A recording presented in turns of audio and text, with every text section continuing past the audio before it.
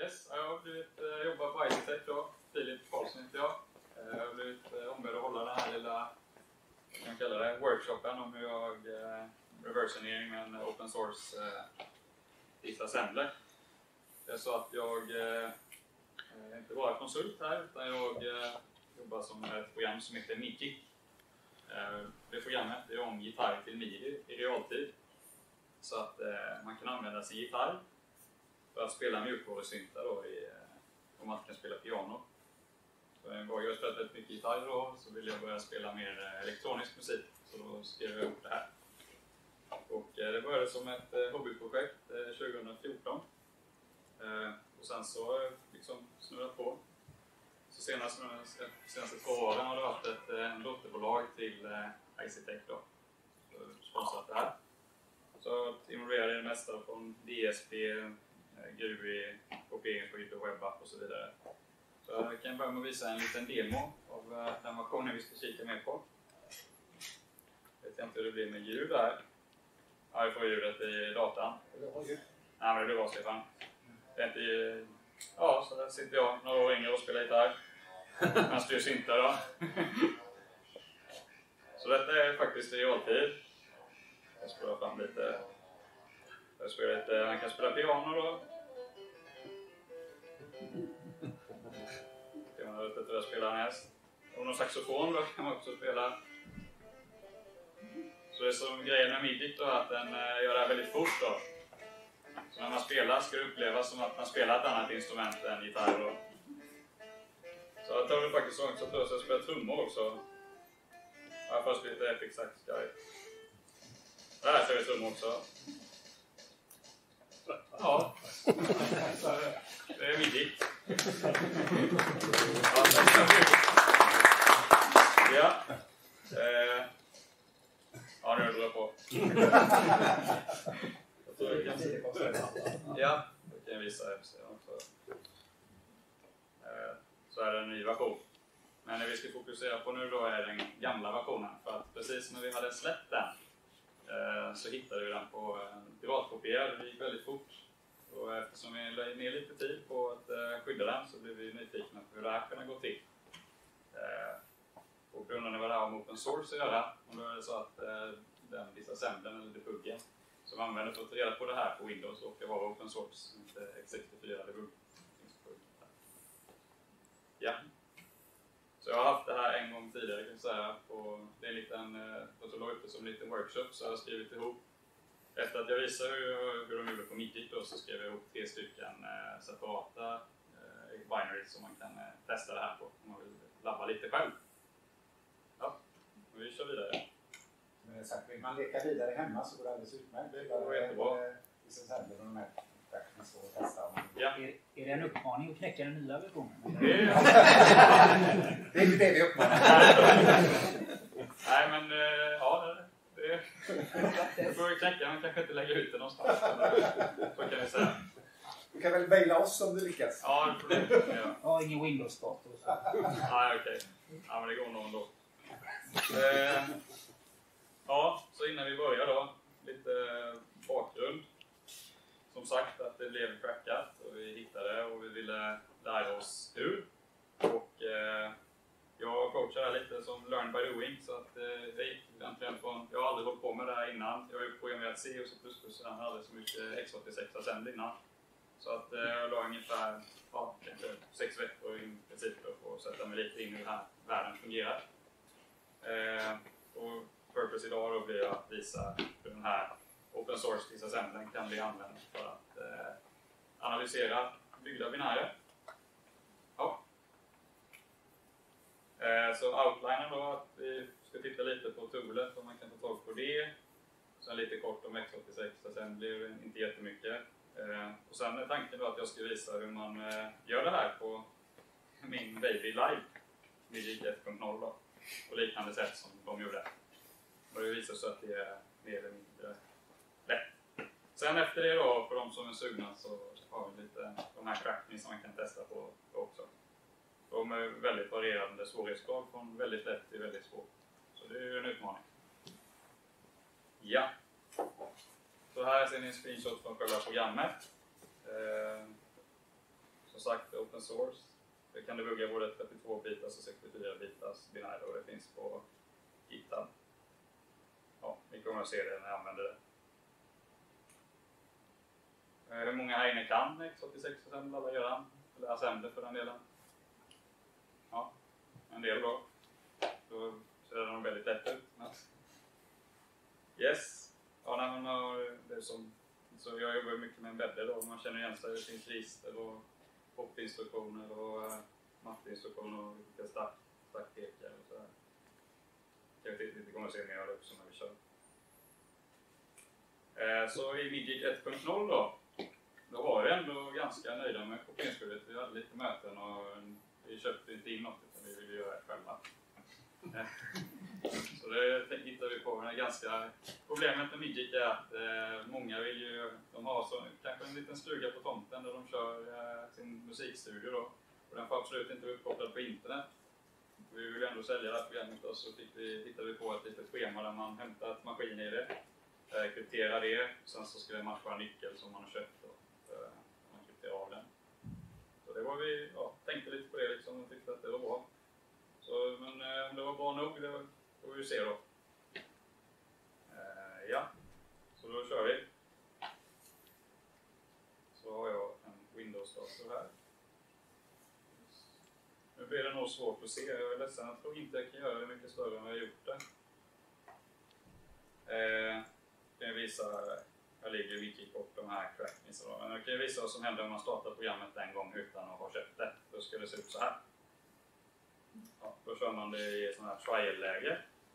Så får man veta, reda på att man kör det där och att man behöver en licensfil som man behöver ha köpt för att bli av med den här jobbiga rutan. Så kommer komma upp varannan eller var tredje minut. Så får man tycka att man fortfarande vill testa. För det är helt gratis att testa. Så nu försöker den göra om när jag pratar till mig. Eh, det är helt gratis att testa det. Ja. Nej, det var inte helt konstigt. Nej, men så kan vi titta. Det står att jag är inte registrerad och eh, jag kör den här i trial-läge. Ja. Ja, ja. Den hämmar mig. Så då startar vi eh, disassemblen. Och nu är det ett 32-bitars program, så vi startar i 32-bitars läge. Och då ser det ut så här. Så när jag jobbar nu använder man Ozone, så jag känner igen de här eh, knapparna lite. Så det eh, ja. Så då börjar vi med att öppna själva eh, binären. Då får vi först en brytpunkt i NTDL, så är loaden som laddar upp den i ram. Eh, och så när vi trycker på play här då, eller zoom, så kommer vi få en brytpunkt i entry pointen till min applikation som heter Mickey. Och nu är vi då på första instruktionen i Mickey. Och googlar man lite så lär man sig ganska fort att det man letar efter är då absoluta, absoluta basic och letar efter strängar. Så det kan vi börja göra. då. Eh, och se hur det går. Och eftersom vår instruktionspekare står på första instruktionen i MIDI-programmet, så vi trycker på eh, leta strängar här då, eh, så kommer den leta strängar på det området där MIDI lägger uppmappat mappen i ramminnet. Ja, så kan vi kika runt lite här. Och det ligger ju väldigt mycket strängar ser det ganska fort då. Men eh, ja, vi behöver inte gå igenom dem ännu än. Vi kan ju söka efter intressanta strängar. Typ licens är väl ganska då, det kan man ju tänka sig. Ja, jo visst, det hittar vi ju en hel del här. Va? License passed och license failed och license accepted. Eh. eh, vi kan ju testa här den här jobbiga på pappen då. Och då är det så lätt att eh, den har ju koll på var jag sänder, sån här strängen refereras då. Så om vi dubbelklickar så kommer vi ta oss, kommer den ta oss, våra vissa sänder ta oss dit. Så här verkar jag hålla på och eh, göra något slags hopp om Nej, men kanske om man inte är jättebevandrad i X86 assembler så gör den lite lättare först. För nu har jag ett sånt här branschningar branchningar är väldigt viktiga. Så nu har jag ett, ett trädfunktion som jag vill visa, plåta upp hur alla branscher går. Då. Det är ganska användbart när man gör sånt här. Så vi kan väl gå upp till där funktionen börjar. Jag har bara tagit någon random sträng. Här börjar funktionen upp från prologen. Och då ser det ut så här. Eh, Så kan man se hur den här branschen går. Och då visar den även vilka strängar som är på ett plats. Så det här gör det väldigt enkelt faktiskt. Det gör den. Men det är mycket tack vare guldet då. Jag säger inte att det är jättesvårt utan, men den gör det ju hundra gånger enklare. Då. Men just här tror jag inte vi har så mycket tur. Alltså, nu är det inte som en TV-kock för just här innan så jag vet precis vad jag ska söka efter. Så vi kan ju prova att söka efter rätt sträng en gång och gå till rätt plats i minnet. Då ska vi se om vi kan lösa det här. Då går vi tillbaka till våra strängar. Eh, Då vet jag att den här trial finns det en sträng som heter. Den kanske är intressant. När man har bestämt denna. Eh, Då dubbelklickar vi. Och så kommer vi till en annan funktion. Eh, Sen går vi upp och ställer oss där den funktionen börjar. Eh, Och så går vi kolla hur trädet ser ut där. Eh, Här. Här ser det ut som den försöker, eftersom jag vet hur programmet funkar då, så ser jag att den bygger upp någon slags sökväg till där licensfilen ligger. Så nu verkar vi i alla fall vara nära där den läser in licensfilen. Och sen beroende på vad som står i licensfilen så kommer det här trädet, nu är det svårt eftersom det är så stort, men ni ser nog. Här verkar det vara något hopp där den antingen går och refererar någon sträng som heter trial. Eh, eller så har vi till höger, då har vi en massa annan kod. Eh, där är ett annat hopp.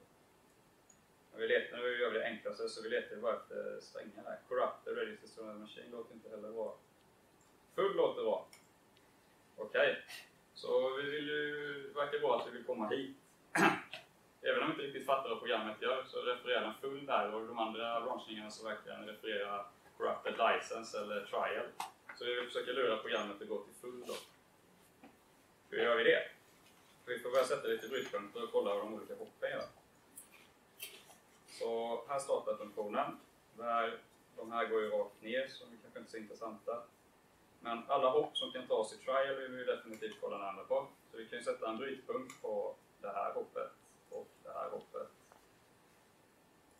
Eh, och så kan vi låta hoppas nu då att vi kan lyckas få den att gå åt höger. Då vill vi få den... Här verkar bara hända en massa guldstraff. Men här verkar det finnas två olika vägar också. En till höger och då hittar vi ingen riktigt sträng som kan ge oss någon ledtråd mot bra. Så att här verkar det som att vi vill få den att gå åt vänster då. Sätt en brytpunkt där bara för att kolla. Eh, yes. Och här verkar det finnas två vägar också. Eh, här. Antingen så verkar det som att din licens inte var så bra, det stod konstiga saker i den, eller att den var jättebra. Då tar vi och sätter en brytpunkt här. Yes. Och sen verkar det inte som den hoppar runt så mycket mer utan den kommer returnera på denna funktionen sen. Så man kan ju hoppas att det här är funktionen som kollar om licensen är okej. Det tror jag är en bra gissning. Eh, ja, ska bara se så vi får där. Okej, men om vi går tillbaka till CPU-vyn då så vet vi att instruktionspekaren pekar på första eh, instruktionen i Miki. Och vår första brytpunkt är ju där i det här hoppet. Så om vi släpper loss den så hoppas vi på att vi ska komma hit. Och det gjorde vi. Eh, så då kan vi titta på att den vill hoppa. Vi kollar på, står vi på den här med jump equal, så den hoppar om Z-flaggan är eh, 1. Så det verkar som att just det här hoppet eh, vill den inte ta, för Z-flaggan var 0. Så här vill vi inte ändra någonting, för vi vill inte få den att hoppa till trial, blir det häftigt. helt då kan vi släppa loss den igen och hoppas att vi kommer hit. Och det gjorde vi. Och då går vi in och så kollar vi eh, hur den vill hoppa igen. Det här hoppet vill den ta, sätta flaggan F. Det är en bit i eh, registret. Flaggregistret. Eh, det verkar ju inte så bra. För om den tar det hoppet så kommer den gå till trial. Så det man gör då, kanske ni kan gissa, då vill vi ändra den här instruktionen till att istället för att den ska hoppa om det är samma så vill vi att den ska hoppa till om den är skit. Så är det så enkelt med det här att man trycker på space och sen så byter vi ut det här från ett jump equal till ett jump not equal. Så kollar vi om den fortfarande vill hoppa. Och det vill vi då inte. Men kom ihåg nu att detta har vi gjort i ram så att nu har vi fortfarande vi har inte ändrat binären på något sätt utan nu har vi pillat på det här när det ligger uppe i ram. Eh, det kan jag prata mer om snart. Så nu har vi fått den att inte vilja ta det här hoppet utan vill att den ska fortsätta ner till nästa brytpunkt som borde bli den här. Alright, då släpper vi loss den. Och där kom vi. So far so good. Här är det viktigt, vill man hoppa till höger eller vänster ska vi titta, det är precis likadant. Eh, det här hoppet verkar som den vill ta. Och det har inte vi någonting emot, för vi vill ju ta oss ner hit, hoppas vi på. Så vi släpper loss den igen. Och hoppas att vi kommer dit. Och det gjorde vi. Här är det viktigt, här vill vi inte att licensen ska hoppa upp, så vi vill ju få den att hoppa åt höger. Och här vill den ta hoppet. Det är inte bra, så då negerar vi det här hoppet också. Till ett jump. Not equal. Okej. Då tittar vi på grafen igen för att det blir lite lättare att förstå sändning. då. Den ska inte ta hoppet eftersom sätta, eller vi har bytt ut det till jump not. Det är ju bra. För då kommer den gå här, sen kommer den exekvera fram tills den egentligen returnerar från funktionen ner till lågen här. Så har vi riktigt tur nu så kanske den funkar. Då släpper vi loss den. Nu har vi inga fler brytpunkter, vi, vi gör detta som ett första test. Och nu har jag en ton Och vi fick ingen pop-up. Och så kan vi titta vad vi har för licens. Och nu har vi en full licens utan något eh, giltigt ID. Så nu har vi... Eh, vi har inte crackat Midgis riktigt än, för det här, nu har vi bara gjort det lokalt i vårt ram då, eller ramet på den här datorn. Men det finns ett plåster där man kan trycka på som har koll på vilka patchar man gjort i ram. Och då ser man att vi har bytt ut en 84 till en 85 och 74 till en 75 på de här adresserna. Och då trycker vi patch file. Då kan vi skriva en ny eh, executable här då, så kan vi kalla den för Midgi. Ja, något häftigt. Så att den inte crack kanske. Ja. Och nu- Cheaper. Cheaper mix. Cheaper midi. Free midi. Så ska vi stänga debuggen. Ja. Så. Då får vi köra den här då utan att debugga. Ja, det verkar funka bra. Så vad var det som... Eh, jag går tillbaka till slidesen. Eh, ja. Så det verkar ju som att vi, även att vi har gjort ett väldigt bra skydd, så skulle inte det så stor roll om man har en massa strängar som eh, pekar exakt på någonstans på implementerat skyddet. Så att det lärde vi oss att vill man göra det så är det bra att kryptera strängarna för det. Då hade det blivit mycket, mycket svårare att veta var någonstans vi skulle leta i den här, i den här även om det funnits ett. Och det här är också dumt, vi hade ju bara ett ställe där man testade ifall eh, licensen var okej. Så man kan ju även lägga till flera checkar. Jag kan bakgrund var att det här kan jag också säga att eh, just på Windows är den inte helt, den är inte, det går inte att få tag på crackar där, men till Mac går den. Vad vi vill. Vad jag vet jag. Och eh, då trodde jag det skulle vara enkelt att se exakt hur de hade gjort dem, men det visade sig att de, om jag bara gjorde en binärdiff av original Midgik och crackad Midgik, då skilde inget mer än en laddinstruktion i början. Så för att kunna se hur de hade gjort ungefär fick jag fiska hem den ifrån ram då för då använde bytte de ut en av, eh, inte DLL utan man bytte en till att skriva om sig i ram. Så om jag bara diffade binärerna kunde jag inte riktigt se hur de hade gjort, men när jag fiskade hem det från ramminnet och kunde jag gå ner till en eh, fil på datorn kunde jag se hur de hade gjort. Det är tydligen ganska vanligt. Och det, de gör, anledningen till att man gör så är för att då kan man lägga in egen skadlig kod i det här dilibet, eller DLLen som man patchar. Det ska vi tillägga. Det hittade vi. Vi hittade ju skadlig kod.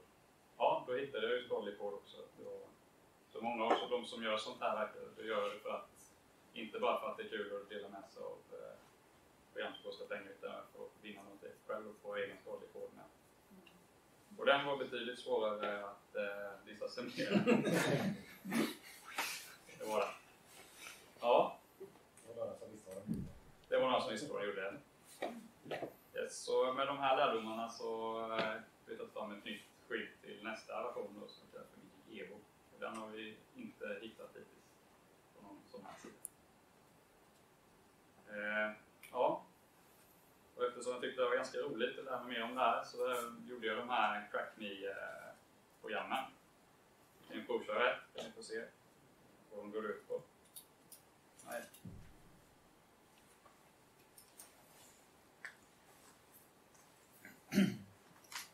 Det är egentligen eh, fyra stycken program. Så första är ganska enkelt. Då ska vi se. lagt till så här fin musik också. Eh, det går ut på att man ska hitta ett hemligt lösenord. Eh, genom- att göra i princip så som jag gjorde då. Och då kommer den inte skriva ut någonting här förrän jag hittat rätt lösenord. Så jag kan testa att skriva ja. Eh, så det är alla utom den sista. Eh, just det. Har en annan musik också. Här ska man skriva ett användarnamn, till exempel Stefan. Så finns det exakt ett lösenord som matchar Stefan, så ska man räkna ut sambandet där. Hur man tar fram nyckeln som matchar Stefan. Så de kan man testa. Eh? Ja, jag tror inte jag hade så himla mycket mer att säga om Stefan. Du har ju lagt upp dem där om man vill latcha med detta. Ja, precis. Då finns GitHub. på min GitHub. Ja. Notera den adressen. ja. Eh, Prova lite. precis. Vissa Ja, ja. göra med det man skriver. Jag har lite annan open source mycket också. Jag kör NeoImp så jag har gjort en lite NeoImp plugins och sånt. Så jag har open source mycket kvar. Även om man inte får köpa till det här. Det vore ju fusk.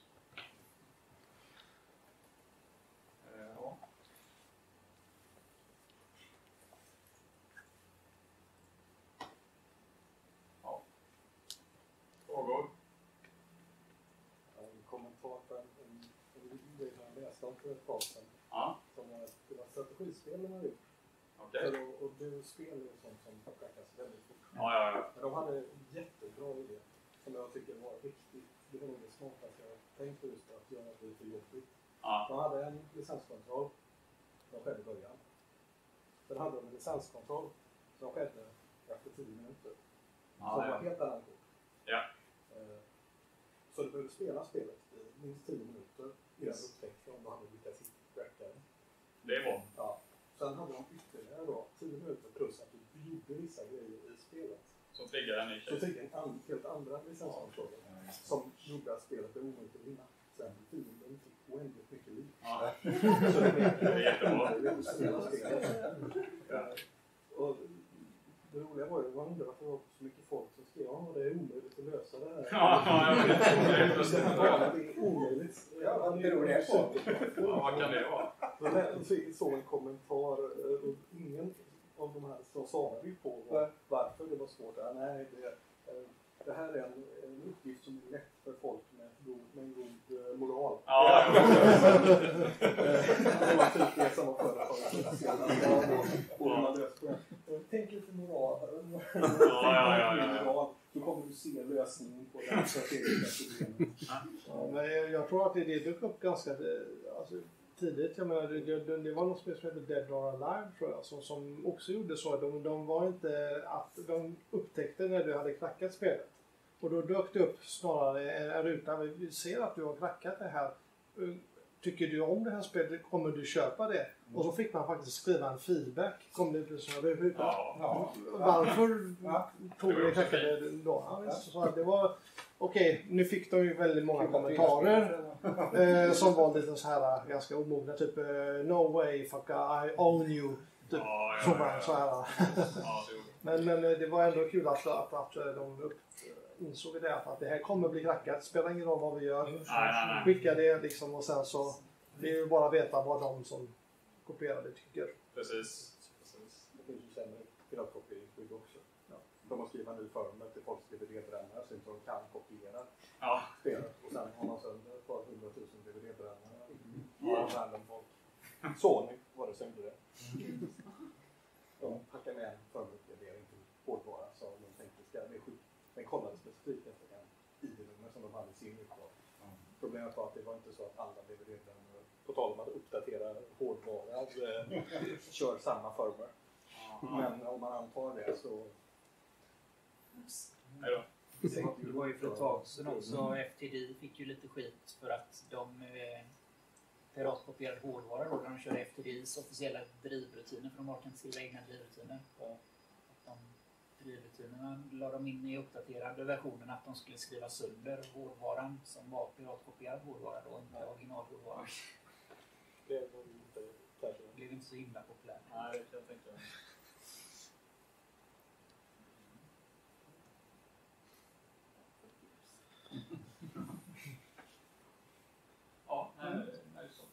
All right. Spännande, tack så mycket. Ja.